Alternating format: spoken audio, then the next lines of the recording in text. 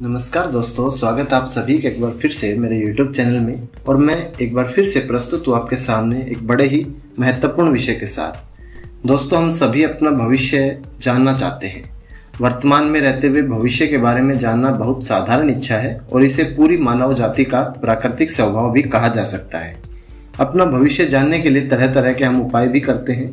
जो लोग हस्तरेखा शास्त्र में विश्वास रखते हैं, वे लोग ज्योतिषियों के पास जाकर अपना हाथ दिखाते हैं। और भविष्य के बारे में जानने की कोशिश करते हैं। हस्तरेखा शास्त्र की माने तो केवल हस्तरेखा से ही किसी भी मनुष्य का पूरा भविष्य जाना जा सकता है। हस्तरेखा की मदद से मनुष्य अपने संपूर्ण जीवन के बारे में जान सकता है। तो आज की वीडियो में हमारा सबसे पहला सवाल है, क्या समय के साथ साथ बदलती रहती है हाथ की रेखाएँ? जब किसी बच्चे का जन्म होता है तो उसके हाथ की रेखाएँ काफ़ी बारीक होती है, जो समय के साथ साथ गहरी होती जाती है। कई लोग ये जानना चाहते हैं कि क्या हमारे हाथों की रेखाएँ बदलती भी है या जीवन भर एक जैसी ही रहती है।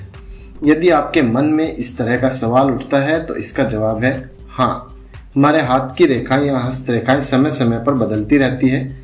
हालाँकि, हस्तरेखा कभी भी अचानक नहीं बदलती, इसे बदलने में काफ़ी समय लगता है। तो क्या भविष्य के बारे में कोई अहम जानकारी भी देती है हस्तरेखाएँ? मान्यताओं के अनुसार इंसानों के कर्म के हिसाब से उसकी हस्तरेखाएँ बदल जाती है। हमारे हाथ की रेखाएँ हमारे जीवन में आने वाली मुसीबतों के साथ साथ खुशहाल जीवन के बारे में भी बताती है। यह हमारे भाग्य के बारे में भी ज़रूरी जानकारी देती है। हमारी शादीशुदा ज़िंदगी कैसी होगी? हमारे पास कितना धन होगा? जीवन में कितना कष्ट होगा? भविष्य में हमें कब सफलता मिलेगी? आदि चीज़ों के बारे में हम पहले से ही जान सकते हैं। कई लोग चाहकर भी नहीं अपनाना चाहते इस बात को और वो अपना भविष्य ही नहीं जानना चाहते हैं।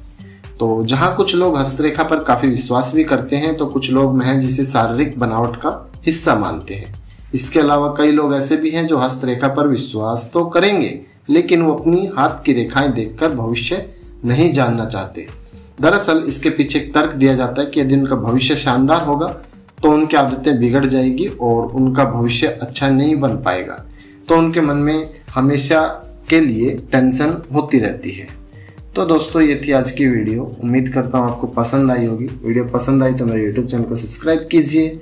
मिलते हैं एक नई वीडियो में बड़े ही इंटरेस्टिंग टॉपिक के साथ। तब तक के लिए धन्यवाद।